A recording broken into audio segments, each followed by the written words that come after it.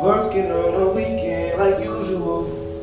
Way off in the deep end like usual. Constant grinding can turn an iron rod into a needle. What does that mean?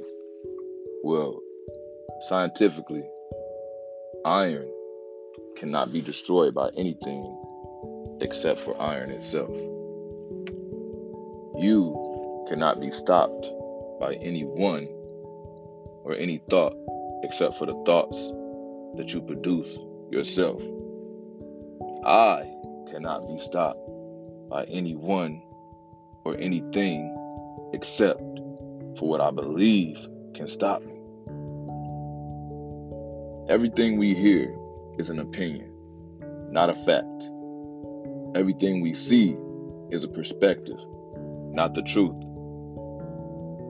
So, when that tiny voice is in your head telling you, when you try to take on something that you've never taken on before, you try to open up your outlet, you try to open your perspective, broaden your horizon, and that voice inside is telling you that you're incapable of doing it. Look at where you come from. Look at how you came up. Look how many times you failed at this and at that.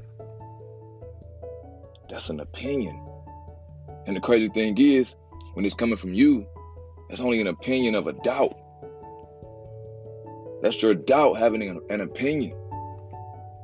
Since when do we believe in doubt? Everything we see is a perspective, not the truth. Everything you see is a perspective, not the truth. So maybe you in the gym and you looking in the mirror. You really got a lot of fat on your body. But what you see when you look in the mirror is that end result of you actually feeling like you succeeded.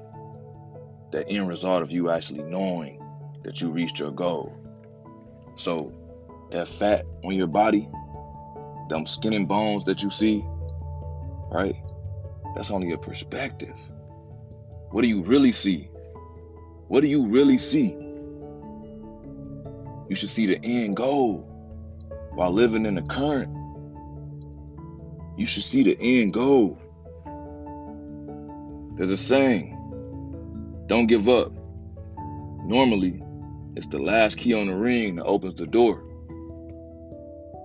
Huh, I can't count how many times that I've tried to open a door thinking I had the right key on a ring of unmarked keys at one of my companies. And Lord and behold, it was always the last key. If that's not so significant to life, I don't know what is.